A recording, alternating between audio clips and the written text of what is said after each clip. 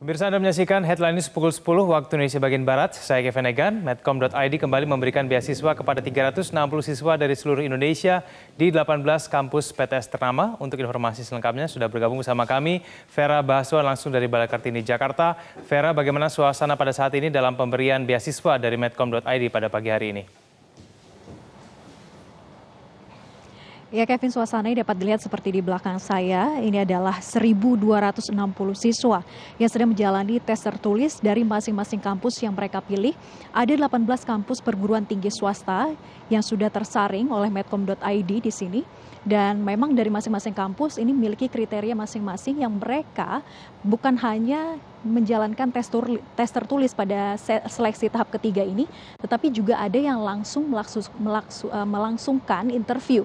Nah, kemudian pada seleksi tahapan ketiga dari 1.260 ini nanti akan disaring kembali dan mereka itulah yang nanti akan menerima beasiswa dari OSC. Dan untuk mereka yang menjalankan tes pada hari ini dimulai pada pukul 9 pagi tadi hingga nanti pada pukul 2 siang. Nah, sebelumnya pada tahapan tes kedua ini mereka sudah tersaring dari 2.700 orang melalui tes administrasi. Kemudian sebelumnya pada saat tahapan awal ini adalah ada uh, eh, 54 ribu orang yang melakukan pendaftaran tahap online. Nah sebetulnya seperti apakah pemberian beasiswa yang dilakukan pada hari ini kepada berapa banyak siswa yang diberikan saya sudah bersama dengan Pak Hervindo yang merupakan marketing communication dari medcom.id. Pak Hervindo sebetulnya ada berapa banyak beasiswa yang diberikan kepada siswa dari seluruh Indonesia yang hari ini sudah bergabung di OSC?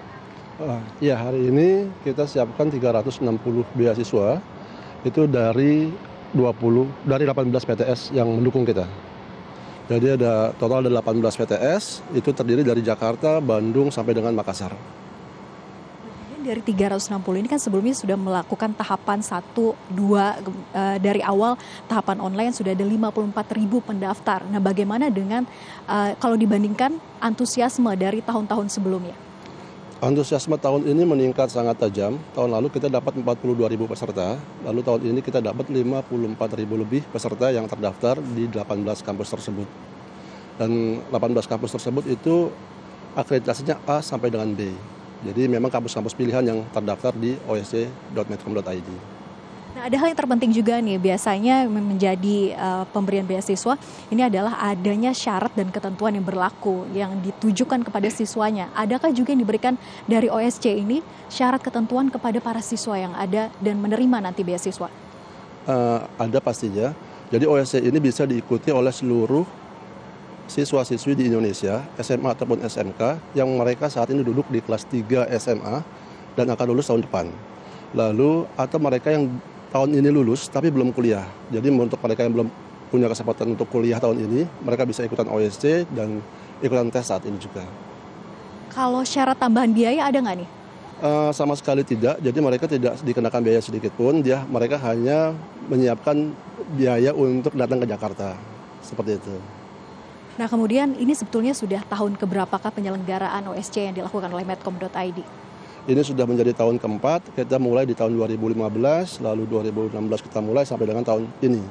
Memang secara grafik dari tahun ke tahun terus meningkat, uh, animonya semakin uh, banyak peserta yang uh, tertarik untuk ikut OSC.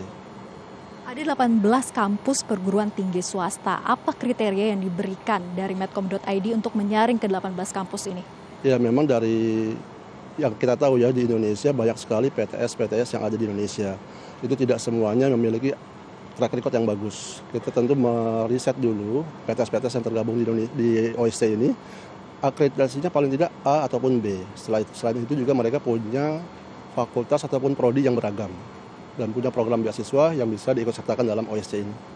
Kurang lebih seperti itu. Terima kasih Pak Hervindo atas penjelasannya dan tentunya penyelenggaraan tes offline ataupun tes tahapan ketiga pada hari ini merupakan tahapan final dan nantinya penyelenggaraan tes dari pukul 9 pagi hingga pukul 2 siang nanti ini akan diseleksi kembali kemudian nanti diumumkan pada pukul 7 malam ke 360 penerima beasiswa. Dan juga nantinya medcom.id pun pada malam nanti akan mendapatkan penghargaan dari beberapa kampus yang tentunya juga bergabung dalam OSC ini. Sementara demikian Kevin kembali ke Anda di studio. Baik, terima kasih atas informasinya Vera Bahasuan langsung dari Balai Kartini Jakarta.